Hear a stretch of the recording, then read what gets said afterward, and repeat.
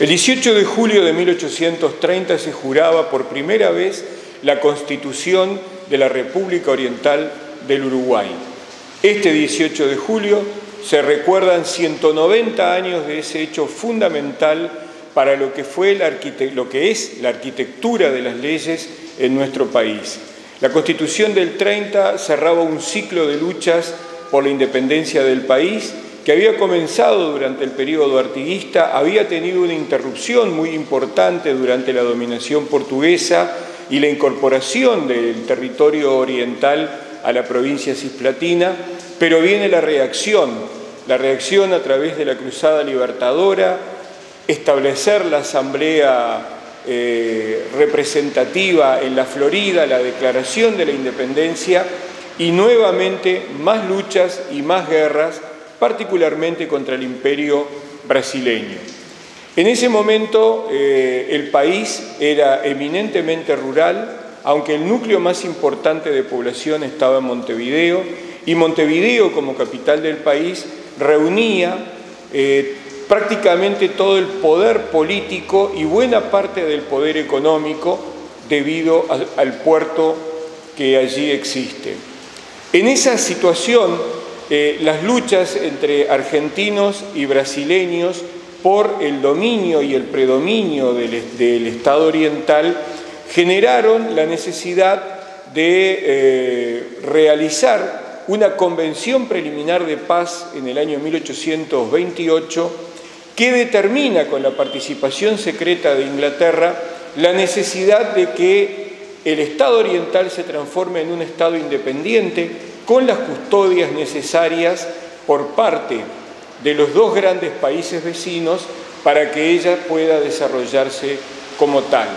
Uruguay nace entonces como un país tutelado políticamente por nuestros vecinos y eh, también y en forma un poco más secreta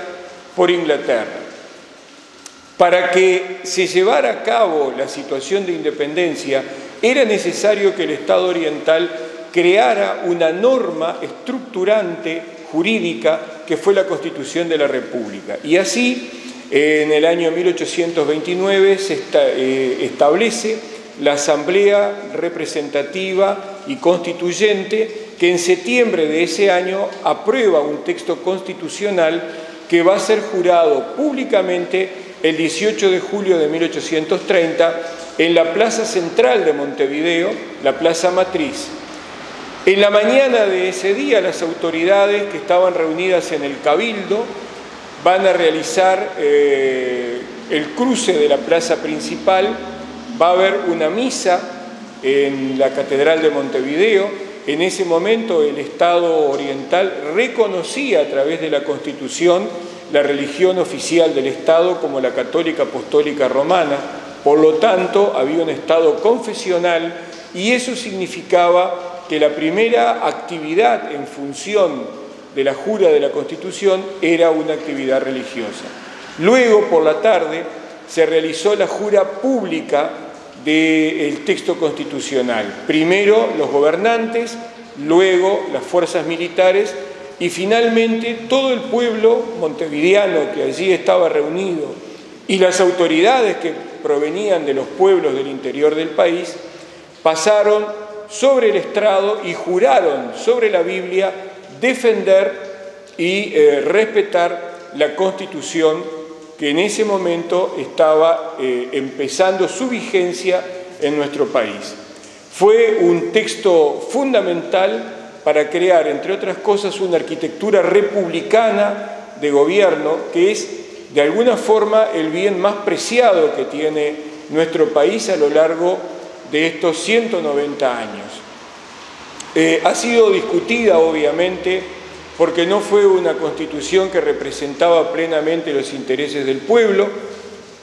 sí los intereses de la burguesía comercial montevideana, dejó de lado, dejó fuera de la participación política a los caudillos, a los militares, a los analfabetos, que eran la mayoría de la población, a los trabajadores a sueldo, pero de cualquier manera, más allá de eh,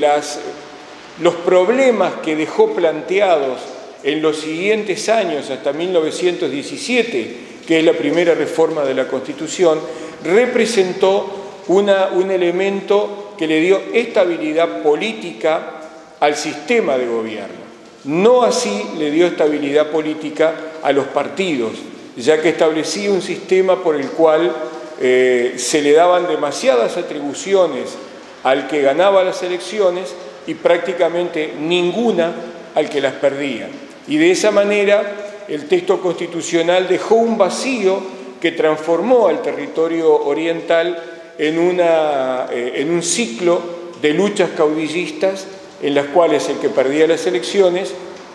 usaba el recurso de las armas para la coparticipación política que no estaba prevista en el texto constitucional.